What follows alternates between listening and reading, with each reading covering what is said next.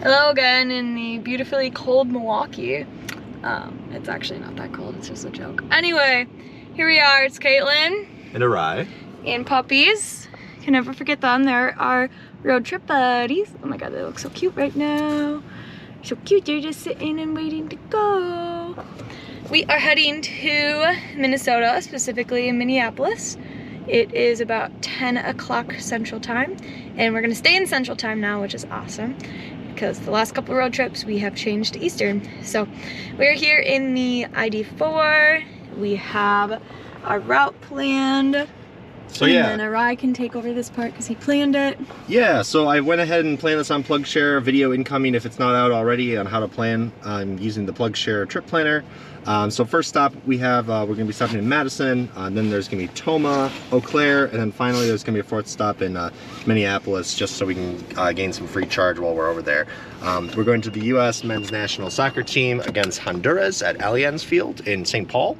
Um, so that'll be a lot of fun. That's this evening at 6.30. It's currently 10 o'clock, so we want to get on our way to make sure uh, we obviously make it for the game. Uh, we should only have to stop maybe half an hour at each stop because uh, it is a shorter trip than our trips to Columbus. Uh, so it's fun that we're going a different route this time, trying some different chargers. Um, so I've planned both to and from, and then we're visiting um, Caitlin's friends out in uh, the Rochester, Minnesota area after um, the game. I think we're heading there on Friday. So, uh, yeah, we're, we're uh, just to show you where we're starting in terms of our state of charge. Uh, we're at 92%. Caitlin charged it up to 100% at work yesterday since she has a work charger over there. Uh, the 92% equivalates to 174 miles on the guessometer. Um, so we should be able to make it no problem. I mean, we will be able to make it no problem to Madison. Uh, the one that's going to be a little more of a stretch is if we wanted to go straight from Milwaukee to Tomah. Um, I want to see actually what Google is saying for that. We're going to try to make it all the way over there um, instead of stopping in Madison, but we will see if that actually works out. I just want to see what the mileage is since we only have an estimate of 174 miles, but that's probably not going to be the most accurate. I, am guessing that's probably going to drop off because of the cold. Uh, and then Caitlin drove it to work yesterday. So uh, my Android Auto is being slightly slow here, so bear with me. So 171 miles. Theoretically, we can make it. So I'm going to start our navigation there and see what the guessometer says. My guess is we'll probably still have to stop in Madison, um, given that I'm, I do not feel comfortable with the three mile buffer on there. Uh, so we'll see where we're at when we get closer to Madison. It's probably not going to get us to Tomah, but you know, gotta try. So uh, we're gonna get on our way and we'll document our journey. Quick update for y'all. Uh, we are in Dane County now, which is the county where Madison is in.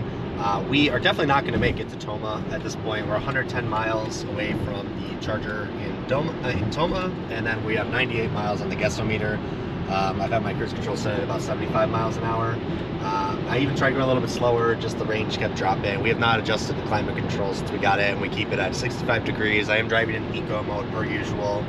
Um, yeah, we're just not gonna make it to Tomah. So we're gonna stop in Madison, do maybe like a 10, 15 minute charge uh, just to give us that buffer uh, to get over to Tomah. And then we'll be going to Eau Claire and then we'll pretty much be golden from there. Uh, we, we may stop at the Minneapolis charger depending on how, uh, I forgot how many miles exactly we're between Eau Claire and Minneapolis, but we'll see where we are there. Um, as I said, I put all of the Electrify America stations um, into PlugShare so that in the case where we need to stop at one, we can. Uh, we can skip one if we need to as well. So I kind of, you know, adapt as we go on the trip because, especially in this cold weather, I mean, it is 14 degrees out right now. Um, it does affect the range quite a bit and kind of fluctuates. It has dropped as we go west and north. It's going to get colder and colder, so I just don't want to, you know, take any chances. So on our way to Madison, we'll see you there. Welcome to Madison, Wisconsin. Uh, pardon all the dog hair on me. Obviously, with dogs in the car, it's hard to keep that off. Uh, we are here at the Electrify America charging station. There's a Porsche Taycan charging next to us. Uh, looks like he's been here for a little bit. He's actually charging pretty slow considering how fast that car can charge. But we're gonna go ahead and just get plugged in here and get this little quick top off going. Oh, gotta unlock my car. That would help, right? Sometimes this charging, oh, maybe we're having one of those issues where the charging port gets stuck on us here car is unlocked. Yeah, with the cold, it gets stuck. So see, I had to kind of bend that open. Uh, anyway. All right, oh boy. These cables get so stiff in the winter. Woohoo, that's a, that's a tough one. Probably because I'm a little further away too.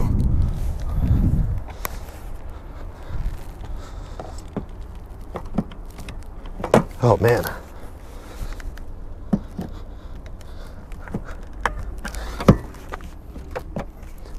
There we go. I think it clicked in. Step back over to the station here, connecting the vehicle. All right, so we're gonna try NFC and see if that works. If not, we'll just do it through the app. And look at that, might be taking it. Well, hey, that was pretty quick. That was pretty nice. Uh, pleasant surprise when the NFC does work. The one in Milwaukee, I've almost never been able to get that one to work. I think maybe once before it's worked. Um, it is chilly out here, guys. It's like 15 degrees. We'll just see what we uh, what our charger starts at here, and we'll uh, get back in the toasty car.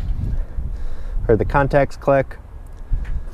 So we are currently we've arrived here with 40% state of charge. See that charging speed ramp up there. I'd say that's acceptable considering the cold temperature and the high state of charge. So let's go on and get back in the car because it's freezing out here and I didn't wear my winter coat and we'll, we'll get going. We're currently 97 miles from Tomah, Wisconsin with 111 miles on the Guessometer. I kind of trust the Guessometer at this point. Uh, 112 miles now on the Guessometer. Let's turn on the ignition and see if that goes up at all. Yeah, went up one mile to 113. Um, I don't know why there's a discrepancy between when the ignition is on. Um, we I've seen it where it just jumps 10, 20 miles before, um, you know, unplugged and having it on. I, I don't know. I can't explain that. I don't know what Volkswagen's programming is versus the ignition being on or off. Maybe it takes into account temperature a little bit differently. Anyway, um, we're gonna go ahead and get unplugged here because now, yeah, now it just went up again, so now it's 114. Um, we'll be totally fine, I think, with the 17 mile buffer, um, considering that we, I mean, I, we got here with what, like 90 miles on the guessometer and stuff, so we just needed a little top off here to get us to the next stop. 97 miles away. I'll go slower if I have to. This is just a really bad charging stop here. We consistently get low speeds when we stop here in Madison, so 45 kilowatts is not great. That's, I mean, it's pretty mediocre, honestly. I'm glad we're not paying by the minute because I'd be really pissed off if we were. Um, but we get the free charging with ID4, of course, so we're going to get going. Hopefully, Tomah uh, has a little bit you know better charging situation hopefully our battery gets even warmer so that there's no excuse for the charger to not um, to not give us the full peak speed so um, lower lower the we obviously we plugged in at 40 percent so we were never going to get peak charging speeds here but if we get to Tomah and we're really low we should be able to ride that wave and you know get us to Eau Claire then and then to Minneapolis. So we'll see you in Tomah. Driving out here in Wisconsin, uh, we are just approaching Tomah. Uh, we just passed where 90 and 94 split. Uh, we have about three and a half miles to go to the charger. Uh, you can just see there's a whole lot of nothing out here. Um, you know, very cool. There's the Electrify America charger line along 94 here. So there's Google telling us to exit here, but I just wanted to show you over on my guessometer here. So we are down to 5%, so it's very good we charged in Madison. Uh, we have eight miles of range. That'll get us the three miles to the charger. Absolutely no problem here. Um, but you can see just on this side here where my power is limited because we're at such a low state of charge. Uh, and I think that's even worse, uh, worsely impacted by the uh, cold weather as well because I don't remember that power bar going that far down when we were driving this uh, again when it was warmer so if I if you really needed to get the full acceleration out of this car you won't get it at this low state of charge uh, especially when it's cold out. Just wanted to give a heads up but we'll update you when we're at the state uh, at the charging station so we've arrived at Electrify America. Not sure why uh, the address PlugShare put in uh, says there. I think there's a Tesla supercharger somewhere. It might be in the strip mall behind us because there's a lot of stuff over there. But the address that PlugShare has uh, makes Google Maps think it's a Tesla supercharger for some reason. So we're gonna hit done here. Uh, we've arrived with 4% state of charge, five miles of range. So uh, we are right on it. Let's take a look. Let's see what our charger number is. Oh, hello, Teddy and Riley. We are charger number one. And uh, the CHAdeMO is number four. So we're not blocking the CHAdeMO. Nobody else here, just the four charging stations. Uh, so we're going to go ahead and open our Electrify America app. We'll try to make this a little bit easier this time. And I like to demonstrate when this uh, Electrify America Android Auto app works. We'll hit nearby. It'll show our Tomah station. All four are available. Let's select charger. Yep, so it's showing the accurate 150 kilowatts. We don't need the 350, so we'll leave that. Uh, there's actually two 350s, and we don't need it, so we'll leave those, um, you know, for Porsche Taycan owners if someone happens to go by. So I'll go ahead and hit start charge here, and then it should be just as easy. Please plug in now. I swear, every stop we make, it's a little bit colder, I think, than the previous one, because uh, we're heading north. So uh, Minnesota's gonna be freezing for this game tonight. But yeah, here we go with the charger. It says please plug in. Go ahead and grab cable one here. Maybe I'll be able to do this with one hand because got it going here. There we go. All right, one hand, let's do it. Cable is so heavy and stiff, I swear. These are, that's why the Tesla chargers are so popular because it's a lot easier to plug them in. All right, cool. Connecting to vehicle, we'll see what we're getting here. Very quickly initiating the charging there.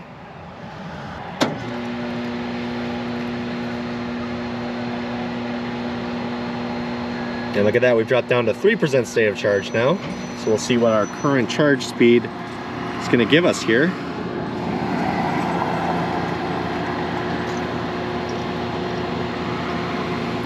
Good, good, ramping up, ramping up. Let's hit 100, let's go. Ah, uh, 90, 92.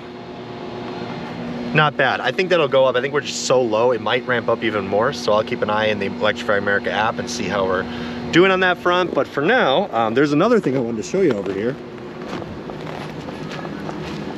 This is pretty cool. Uh, so they have a, this, whatever this strip mall over here is, they do some promos for EV drivers. So that's pretty cool. And then they, they must sponsor this garbage can, which is kind of funny to me. But anyway, uh, we will go ahead and probably run and use the restroom and see. I don't know. I don't see these businesses are not immediately walkable from here from what I can tell. So I think they might mean after you're done charging, come hang out with us because you probably wouldn't want to, you know, leave your car here by going there anyway. So uh, awesome. So we will go ahead and uh, get on going here and I'll update you when we're done charging. Let's just take one more look at the uh, current charging speed. So we went up to 97. So that's awesome. So we might actually hit peak here, which is awesome. Um, I will keep an eye, just keep track of that in the app, and then we should be good to go. There's a little bit more snow on the ground over here. Cool. See you in a sec. All right, so we've been sitting here for about 24 minutes now. We were already charged up to 56% from uh, when we started about 3 to 4%. Um, so that's not too bad. I mean, I saw the peak of, ignore the 175 here as I stated in my last video, that's just a glitch with the Electrify America app, but the highest uh, speed I actually observed either through the app or on the machine, aside from this glitchy 175, was 123 kilowatts. So not too bad considering just how cold it is. I mean, car shows it's 14. My phone was showing that's 12. So um, just wanted to show you our next stop is going to be the Eau Claire, uh, Wisconsin Electrify America. So we'll just zoom out here on the Electrify America app, find it there. We also could have looked in PlugShare. Looks like that's at a Walmart Sam's Club, uh, right off 94 as well. So we're just going to check and see uh, how many miles it is going to be till there. So let's hit the direction button. That would help. Uh, so 75 miles. We currently have 102 miles, so we're ready to go um, at 59% charge. So not always necessary to charge to 80. I'd rather ride the wave and uh, of the high charging speed. And once it gets past 50, it usually plateaus. So um, awesome. I think we're ready to go. And uh, I know that we're excited to finally get there and get ourselves situated. We're making pretty good time. Welcome to the Walmart in Eau Claire, Wisconsin. We just hit 13,000 miles on the car. Since the odometer doesn't show while I drive, I don't ever catch it when it actually happens, but pretty cool. So I'm gonna turn on the ignition here so we can just see our percentage. Um, so it's obviously telling me to charge my car. I get the little notice on the infotainment system here as well. We're at 9% and 15 miles of remaining range. So uh, we wanna see if we can make it from here to our plate, our Airbnb. So I'll do some mileage calculations here, but for now, let's just go ahead and get us plugged in.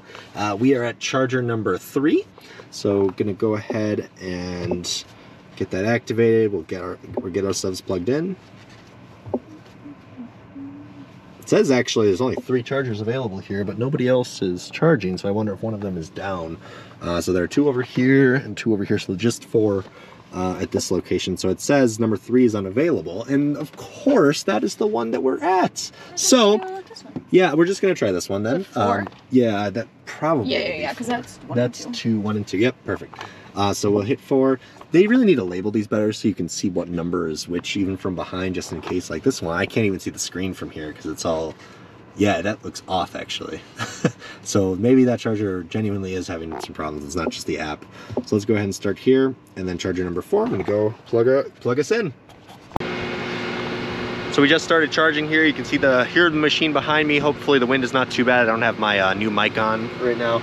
Uh, we're at 120 kilowatts already at 9% state of charge. So that is awesome. I'll let you take a look here. So just plugged in and then you can see right there 120. So uh, as a reminder, the current peak in this car is 125. So that's pretty good considering how cold it is. Um, especially, I think it's like 10 degrees here now. It's a little cooler as we keep progressing north. Um, but yeah, so we're, we're on our way here. I think we're gonna run over, there's another Kwik Trip over there, our favorite spot in uh, Wisconsin slash Minnesota. I think we're gonna walk over there and get some lunch and then, uh, cause they just have such good gas. I mean, for a gas station, their food is pretty good. By the time we're back here, it should be at the charge we want it to be at. All right, so we are uh, just leaving Eau Claire Electrify America station at the Walmart here. We're just about to get back on the road. We charge all the way up to 80% because we want to be able to uh, get to our Airbnb to drop off our dogs. Uh, and then another eight miles after that to get to Allianz Field, um, where there are some uh, ChargePoint stations surrounding the stadium. So we're gonna hope that we are able to use those. Uh, we have 98 miles to the destination, so 130 miles in the guessometer should be fine. Actually, once we turn left here, oops. Take the next Sorry, left guy. onto Gateway Drive, then turn right onto Keystone Crossing. So yeah, we will see you guys in Minneapolis, and we'll keep you updated with what we get at when we get to Airbnb, as well as what we, uh, if we're able to find a charger outside this uh, soccer match. On our way to Allianz Field, we just dropped off the dogs at our Airbnb. We actually arrived with that 30 mile buffer that the car thought we'd arrive with. So the car learned us more along this trip and uh, it was most accurate that last uh, leg from Eau Claire to Minneapolis. Uh, we did skip the Electrify America in Minneapolis because we're kind of on a crunch for time. The game's at 6, it's current, uh, 6.30, excuse me. Uh, it's currently 5.41. Uh, so we're on our way there now, so we'll arrive there just before 6. There are a couple ChargePoint chargers at a Target that's within a mile of the stadium. There's another ChargePoint that's even closer, that's just across the street from the stadium, but that one, someone beat us to it. It's just one plug, so I'm not surprised.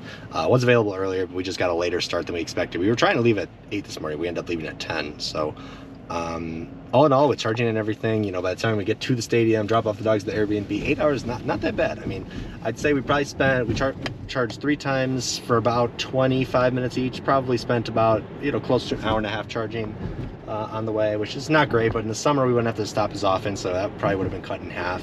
Um, and yeah, so on our way to the game, we will uh, insert some videos from the game in the video here, and then uh, we're gonna see how this ChargePoint works too. If we get the, if we are able to plug in, we'll uh, we'll document that as well.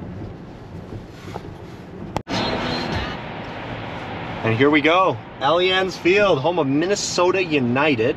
We are at 10% state of charge. It is single digit temperatures here.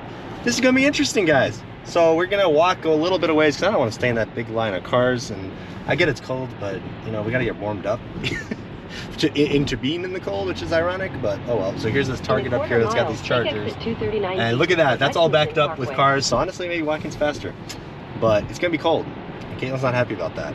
But you know, it's okay. It's okay. Now we'll have a toasty car afterwards because we'll be plugged in. We won't be stranded at Allianz Field. Take It'll be exit fun. 239B, It'll be fun. then merge onto early, how do you Concordia? Avenue. We'll see. okay, catch you, catch you inside. We've arrived at the ChargePoint charger here, so we're gonna go ahead and uh, we arrived with how many percent? Nine percent state of charge. So go ahead and get the car plugged in, and uh, it is currently about six o'clock uh, Central Time. We'll go ahead and plug in and see what we're at when we return to the car.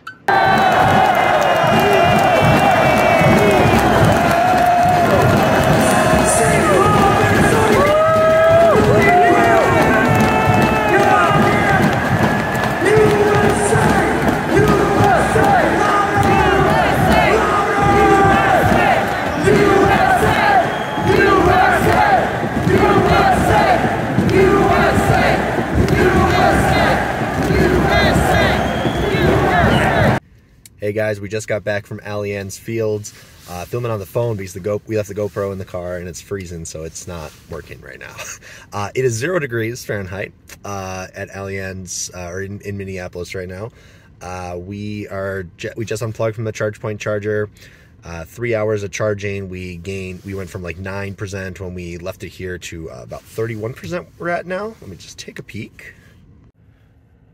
Yep, so we gained about uh, 22% charge in that three hours um, using this ChargePoint. It's about seven kilowatt charger. They also have a bunch of the Tesla superchargers over here as well. Uh, so our range is now at 55 miles. So uh, we'll have to plan to charge somewhere tomorrow. Um, I think that our, I asked our person at our Airbnb, that I did see an outlet on the outside of the house uh, that we're staying in, and uh, we might be able to reach the our uh, level one cable for overnight because it's like I said, it is bitter cold. It is uh, zero out. Uh, my phone actually said negative one, and uh, you can see the stadium there in the distance uh, with the blue light going across it right now uh, for the red, white, and blue for USA. There's the red. Um, but yeah, ultimately we are going to have to figure out how to charge tomorrow because the Electrify America is about half an hour from here and in the opposite direction of anywhere we want to go. Um, so I think there's plenty of charging options here in Minneapolis. I did not plan very well for it, but I know that we'll be able to use PlugShare and figure it out wherever we end up going. Um, it's gonna be cold, so I think we're probably gonna be wanting to do indoor activities where we can leave the car outside and charge it up somewhere. So anyway, we're gonna get going. Uh, we'll catch you guys tomorrow.